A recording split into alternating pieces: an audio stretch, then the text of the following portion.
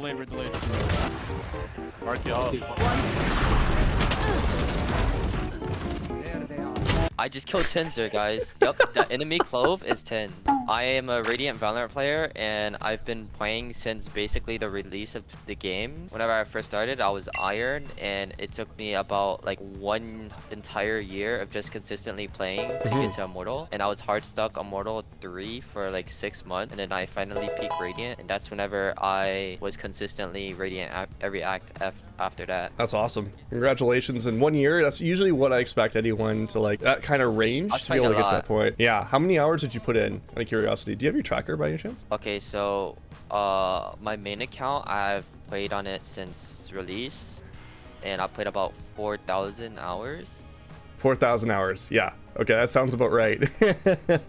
what sort of Yeah. things do you feel you struggle with being at this level now, and, and what do you want to get to next in terms of your goals? I feel like my game sense is pretty strong. I know what I'm doing. Um, I understand how the game should be played and how it works. My weaknesses would probably be uh, uh, how to outplay like other players and like aiming wise. I uh, yep, I just killed Tinzer, guys. Yep, the enemy clove is TenZ. Um, sorry, you were saying? I probably struggle to find my weaknesses. Like I, I feel like I lose my gunfight sometime. Maybe like I don't know. I just like I always switch my sense. Like I'm either going high sense or low sense Hmm. every couple days to like every couple weeks. Why do you do that? What's the reason for that? What do you think? I change my sense. Like I don't change it a lot. I just change it like whenever I feel like I'm doing bad. Like whenever I play high sense, I feel like my micromanaging is like very bad. Like I can I can flick everywhere and, and I could get 180 kills. I can look away from flashes really easily. In exchange for that, uh, I just can't micro uh, micro aim. It's very difficult for me. How many sensitivities are you playing on? Do you have like set sensitivities that you're playing on? Right now, I play with three different senses. One, I'm on like duelist, playing like something I need to like just entry and look look around while I dash in. I Right. play .175, and whenever I like I'm just not feeling that sense, it's like feeling too fast. I play on .16. Whenever I'm playing on like X agents, non-duelist, where I don't need to go in and look everywhere, I play .115. That is the sense that I'm playing right now. I was gonna say a lot of that kind of stuff. There's a lot of people that will try to find anything to like justify why they've missed a shot or something like that. I'm not saying that's you, but I'm just saying like a lot of people will look at like DPI 1600 sort of things. Like oh, it's like this, it's like this small little thing that will better reactivity in the mouse and all that stuff. But a lot of them too, I believe. It, it could be pilot error. Human beings don't like being wrong, so I would just be very careful with that kind of stuff. Three sensitivities is very interesting for me. Why not one? Why not just stick to one? Well, I've been sticking to .16 for a while. Okay. and I just feel like don't like I I aim train and it's just uh my micro like micro aiming is just bad. Mm-hmm. And uh, you're sticking with it like fully. Like how long you've been sticking with it now? Uh, I'd say about six months to a year. Okay, cool. So you've Point- been point one six. point point one six this whole time. Okay, cool. I love that. I want you to just stick with that, ride it out, because consistency is bred on the things that you can control. If I'm going to advise you on anything, I'd recommend find one that's going to have the best of all worlds and be consistent with it. You'll look at people like TenZ, for example, and they're constantly changing things, right? Half that battle is mental. A lot of the times, they're trying to find one thing to adjust because they're like, this is the reason why I'm falling apart. But the goal here, more than anything, is, is consistency. Would you agree or disagree? I just I agree. I You agree? You agree with consistency? Okay, cool. Yes. So if you want to be consistent in anything in life, you need to have consistent practices, right? This is something that not just me saying this. This is a lot of high-level pros will say that too. You want to have something that's going to be consistent for a while. Now, you being as skilled as you are, you have a high level of adaptation. You're probably able to take a new sensitivity and learn it within a couple of minutes and be decent with it. That being said, you still want to control all the elements that can be consistent. For example, your height on your chair. You want that to be consistent every time. Where you place your arm on the table, you want that to be consistent every time. The lighting in your room, consistent. How much you sleep at night, consistent. How well you eat, how well you work out, all these things need to be consistent. It needs to be habit, right? Because when you build consistency, you're able to get consistent results. It's that simple, right? So you can I agree. do you can go for you can go for the different sensitivities. If that works for you, I'm not going to change everything because you found success with it, right? That's not my job here today. My job here is to give you as many options as possible, as many tools as you can to, to get here so you can change or add different principles to how you play, right? To get better results. That's all I'm looking for today. Does that sound fair enough? So what we're going to do today is we're going to break down one round at a time where I think you could have some improvement on certain areas. And again, it's all about tools, right? The way that I think of things might be different the way that you think about things. But if you add some of these uh, processes or protocols to your mind, it might improve you over time, okay? So let's look at how we break down every single round. Okay, so we're going to go one round at a time here. Love is gonna be a Let's start off. What's your job in this comp? Create space. Yeah, you're an entry duelist, right? You're creating space, you're the entry. The drone typically is entry, actually over you, because they're going to be leading in, but depending on what they end up buying and what pathing you guys choose, there's a whole bunch of things. I love that you bought this. So many of my students won't buy for a purpose, so pay attention, chat. This is clearly purposeful, and the pathing is going to reflect how we use this gun. There's one tree right now. I'm smoking it. Hey man, hey man, hey man, clo- like, he's on the choke. We're delayed, we're delayed. This right here is perfect. So our buy here was to go with an updraft, cloudburst, and to go with a frenzy. Frenzy going to be guaranteeing close range fights. So our whole intention here as a jet is to create space, but to get up close to them. That's what we're trying to do. So a smoke's been thrown. We can't see the minimap here, but the smoke's been thrown directly in front of them. This is our clove smoke. And now we're dashing across, which creates space for our teammates to move in. Whenever we're dashing across, our intention is to one, create space, but also to draw crosshairs. Okay, we're trying to draw crosshairs towards us because what happens in this game is something that you can totally abuse it in. Is that we suffer as Valorant players from a syndrome called cat protocol. Do you have a cat at home by any chance? I do, I do. Okay, awesome. You ever shown a laser at a wall near your cat? Like Yeah. a laser pointer? What happens to the cat? Looks at it. Yeah, looks at it and sometimes it goes right after it, right? Well, here's what Valorant players do. When they see an opportunity, especially in ranked, for a frag and they see you dashing across, they're going to chase you like a laser. So you're drawing attention, which creates space and allows your team to set up for a trade, which is exactly what happened here. This person was standing, I believe, right here, and Crickor was able to get a free kill. Okay? So you can use this as a duelist like you're doing right now. You might have just been doing it unconsciously right now, but now you're conscious of it and how you can like take advantage of it. Yeah, yeah, Let's let's watch your pathing here. One, one, one, full healed, careful. This is not your job. I love that you're kind of like Help me, help me. you're kind of letting everyone else do it, which is great. He's lit. 130. Yeah, it's not your job. Perfect. This is so good. This is so good that you're doing this stuff. I'm Because not doing. I'm not going there. I'm open to heaven if I try to help him. You got it. Exactly. You, you can't do it. It's up to Sova, it's up to Reyna right now to deal with that.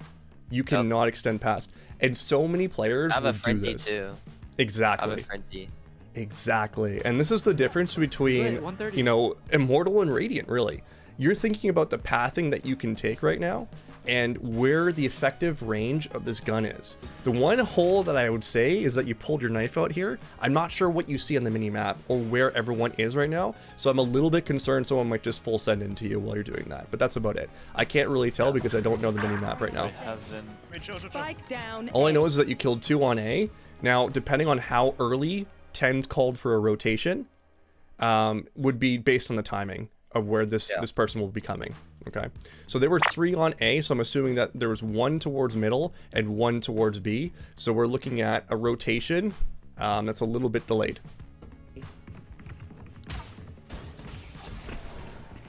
Oh, uh, Last player Oh, standing. 78 on so. You probably thought he was dead at this point, right? I thought he was dead. oh, uh, Because it seemed like he just stopped shooting. So, great pathing, great thought process. So all the mechanics that you've been talking about in terms of your entry as a duelist is fantastic. Now, you're normally playing Sentinel, you said. Sentinel controller, is that right? In Um, scrims? in in ranked, I have a lot of duelist experience. Mhm. And in scrims, like team play, I have a lot of sentinel experience. So it's like a complete opposite role. That. Mhm. But I I understand each role and know how to play each role. That's so important too, because when you're playing Sentinel, you need to know how a duelist thinks so that you're able to adapt to it. Well, I gotta got dash onto the site. I think I remember this one. You're gonna dash right in. Yeah, use the set it. You're gonna dash in the site. Again, chat, pay attention. They're calling out their actions, what they're doing ahead of time, right?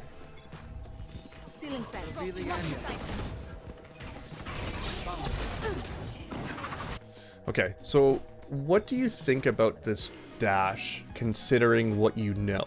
Well, first question for you is where does that dart come from? Lane. Yeah, it's coming from sight and lane. Think about the gun that you have. Now, you've already planned that you want to dash into sight and go for it. Yeah. The likelihood of them having a gun that's going to beat you while you're midair is very, very, very high. So this is where you might need to modify where you're going to path into. This pathing works best when you know there's one person on site. So you might have made a read that there was a 113 at some point, which we kind of did. But now with the Sova being here and a chance of a KJ being there, we're looking at two on site right now. So right away, you need to consider changing things once you see that turret we just saw there. Okay, so this is like on the fly. This is like a small, small mistake that you might have had. You cloudburst to dodge this, which is great. Great reaction. Love this. But now in my head, I'm thinking, shit, there's two on site right now. Where do I need to dash to make this work? And this right here would be the least likely spot that I'd want to go into just because of all that stuff. All right. And you think about how much more distanced you are from your team now because of that. Think about what happened on B main. It's all mollied off. So you taking this space right now will net you zero value because of it. Does that make sense? Yes. Okay. So it's a split second decision. It is. And that's what you're looking at with Radiant, man. When you're looking at Radiant, you're looking at the smallest mistakes, the smallest ones. You play Yeah. this in gold, you kill everyone. They don't even shoot at you. You know what I mean? But like Yeah. in this rank, because they've positioned that way, they're now oh able to counter you on that kind of play. Now, another way to think about this too is that there's no need to run in instantaneously to do this because you have a minute and 34, which a lot of players, especially the ones that like came up from ranked, have this idea that we have to get on site within like the first 10 seconds and plant the bomb. Otherwise, we're just right. That happens a lot. People get into that mindset. It might not be you, but it's something in general that I see a lot because I've coached a lot of students, and this is the mindset that happens a lot of times, right? So we don't have to move that quick. And ultimately, if you think about it, who has the advantage this round right now? If you were to look at economy alone. We do. Yeah. So we have Yeah, all the time in the world, and they're the ones that are their backs against the wall financially, right? Yep. So I would say the biggest feedback I have for there, slow down just half a second and think about what you want to do. Your original plan is great. I love that. But now you need to think about on the fly, how do I modify things if I'm looking at this situation? So here's what you're going to do now. For homework, you're going to start protocoling how you entry into this site. Okay? So you might want to have about three different dash locations based on what you're playing against in terms of their com or their comp, and then based on what you think they're going to do. If they play two on B, my dash options are this and this. If they play one on B, my dash option is this. Okay? If they play zero on B, my dash option is this. Right? you need to be protocoling that in your head so you can make these on the fly decisions a little bit faster. Does that make sense? Yeah. 1v4. 1v4 situation? What do I do here? What do you do here? You just try to get as much damage done as you possibly can. Try to get the bomb down. Try to salvage as much as you can. let's, let's see what happens. The um the other thing that I want you to do too is check your money and see if it's worth doing it as well. They're like all Okay. One down. Someone was tree as well. Okay. This was a mistake. Small mistake. One down. Someone was tree as well. When you're going for this 1v2 situation, I want you to look at what their ults are right away. Take half a second, take a look. If you're Sova and you're alting, I've already given you the answer. Where would you alt to prevent this plant and to kill you one time? Default, default. You got it. First of all, fake plant, and then move over to dice and plant again. Or just plant on dice right at the beginning. Either one. Probably pushing you in heaven in a few seconds here. Oh One enemy remaining. Oh my goodness, what a throw. Okay, the last one's in the middle here. Pop dash. Okay, going for knives, I like it. You have option to updraft here too, which is great. Oh, I love it. Nice job. Excellent work. Okay, so things I would job, look at. Vin. What's that? Good job, Vin. Yeah, way to go, Vin. Excellent work. Is it is it VYN or is it It's Venable. Vinable? Love it. Okay, so what I would do is first of all, before I go for that clutch, I ask myself, is it worth doing? Right? You press tab really quick. You take a look at the money situation. What goes wrong if I lose this? Right? Is it better if I hold this up for next round? These are questions you want to ask yourself. Nice, man. Oh, Ooh, I'm the best player in the world. Of course, if you don't do it, you won't get the clips. All right, so if we look at the money situation, you probably needed to save.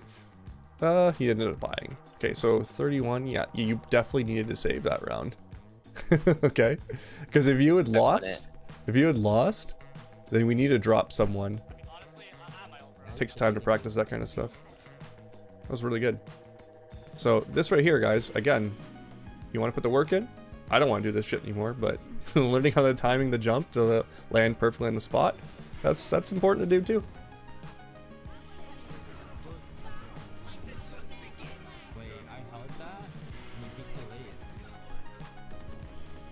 Hmm. Okay, I'm fine with it. Just gonna nitpick here, but it's alright. Just remember the op limits your ability to move.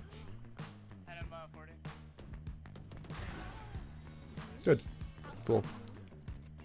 So on the transverse, the other way to think about this is that smoke's probably not going to last much longer.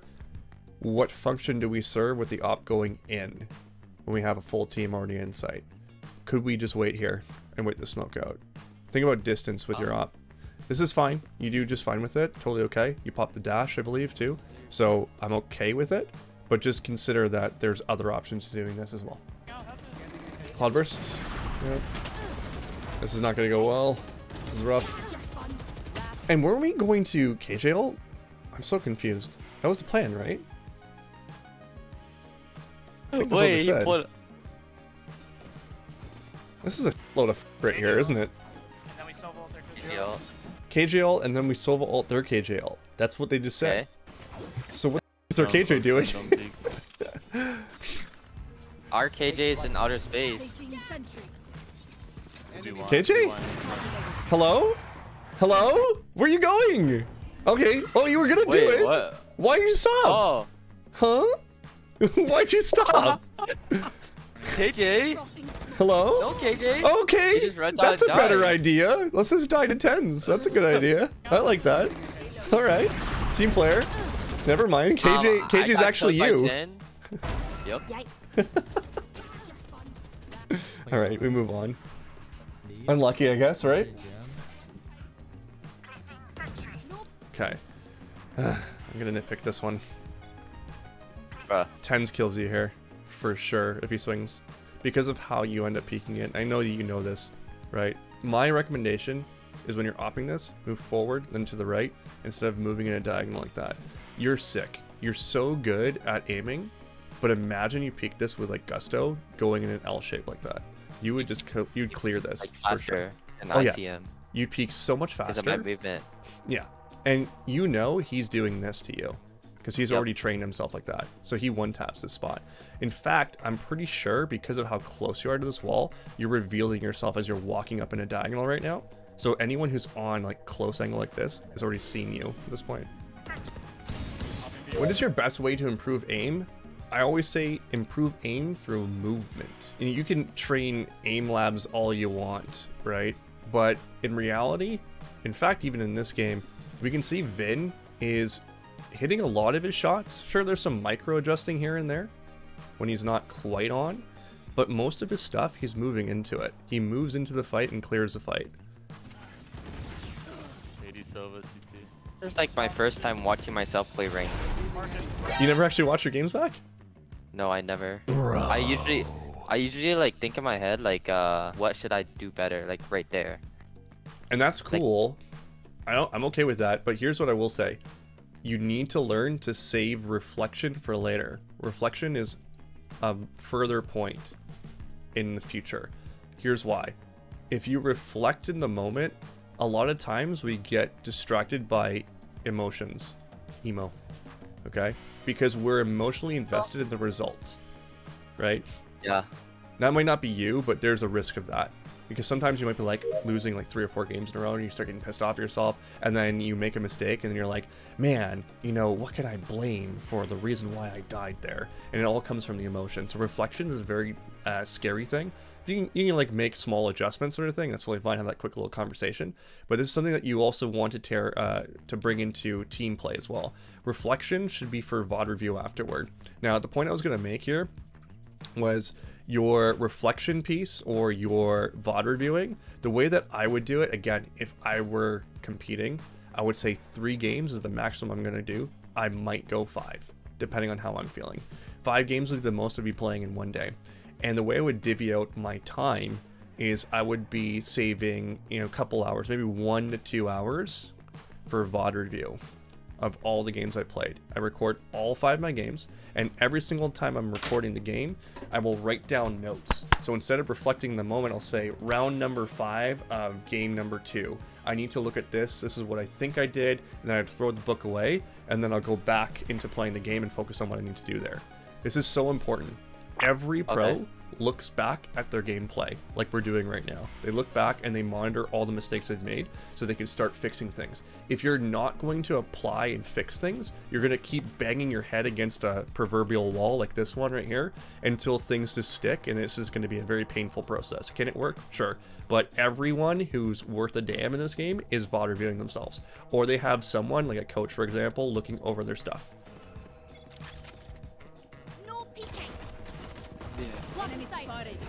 No way you're challenging that. Come on, bro. There's like four.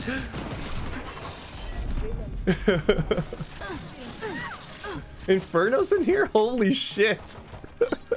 How's it going, Inferno?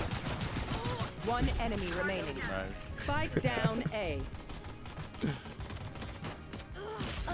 Okay, so what was the thought process here? So, my teammates are taking a fight. I was, uh, I threw a one way there. So they had to swing like against the wall, or they'll be stuck against the one way, and I get like a uh, advantage, like peeker's advantage. Okay. Like, um, so basically, I throw a one way against the wall, and they either go into the one way like they're dead dead, or they go Ah, okay. and swing against the wall like they're Sova. Love that. And I have three three teammates fighting with me, so it's kind of an advantage for us. Uh, okay, love that. Love that. Big W then. I learned something new today. Great job. one enemy remaining.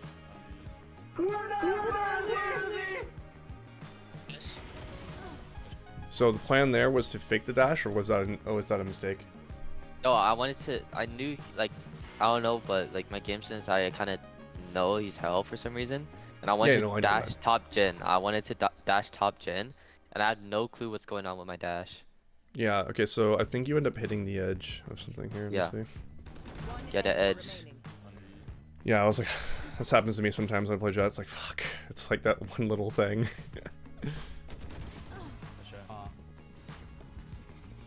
Do you know the spam spots for every single corner?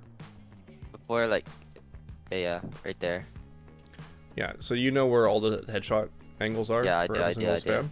Spam? Okay, that's important. Uh, another one, guys, just in case, make sure that you start learning these things. Grab a friend, go into a server, and just learn where the spots are relative. Find a standing spot where you'd like to go, and just go for the spams and see if you can clear things out. If you have KAY/O, which again is a very essential pick on this map, KAY/O can literally take out one of these angles and leave closet and take out sloth completely, right? Um, lots of different options there. How uh, how many hours of aim labs do you do? Reyna's through A. Me? Usually, yeah. Have you played aim labs at all? I play like aim labs like once every like two to three days. Mm-hmm. I And I, and I love that play for like. answer. fi- Huh? I love that answer, man. You do? oh yeah, I do. Because I, think, I'm personally of the feeling that Aim Labs is very, very overrated, and I'm probably ruining a potential sponsor by saying this, but I think it's overrated. so hearing only once, like every three days, is like music to my ears. And why do you why do you play it? to warm like get my muscle memory like go in practice my micromanagement and like just get in touch with my mouse like just just become the mouse Why isn't it an everyday occurrence though? Like why once every like three days? Uh, because I don't know. I just I don't like doing it often. Like uh, I just get burnt out on it, and it doesn't like fully go into Valorant. Like I, it's best to just go into range, practice like the actual gun, and then go into TDM and and practice your movement while practicing your spray pattern. And I, I don't know. It's just better to play the actual game rather than warming up only in aim where in aim labs where you can't control your recoil. Okay, love that.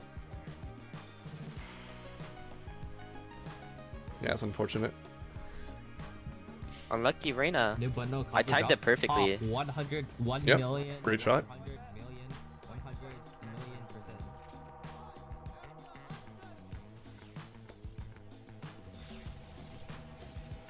By the way, chat, I I got a, a kill on cat and I repositioned top mid where there's no smokes. Yes, great point. And here's the next point I wanted to make on that. Why not take a shot through here and just go for it? Huh? Why not take a shot right now and go for it? Uh, because I I didn't show that I repositioned top mid. Yep, you didn't you didn't show that. So here's what he's saying. He gets a kill on cat, so automatically they're thinking that he's gonna be on catwalk. If you reposition as an op, they don't know you're gonna be here, which is great. But you can also take an op shot here if you wanted to. And what this will do is it will now make them think that you're in middle, which is great for you. You take the shot here because they think they might be in fridge. It's a possibility. You can kill them there.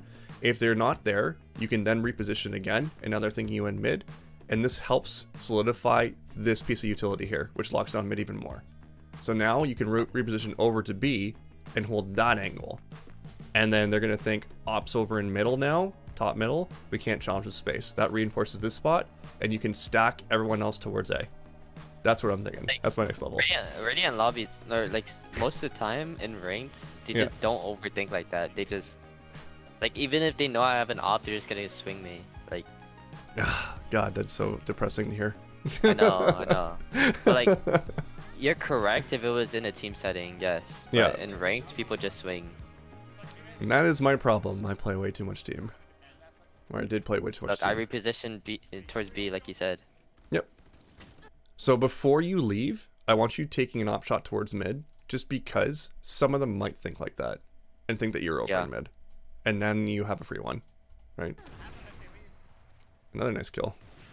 Poor TenZ. Or TenZ, Back up. man. Back right up Just sitting in to. I would back right up to boathouse right now because I think your teammates are a little bit distanced from you right now. They are. Nice shot. Never mind, you're him. Okay, so I wasn't sure where the Sova was and where the Reyna was exactly. I think the Reyna was coming down catwalk at that point. So I was just thinking about timing.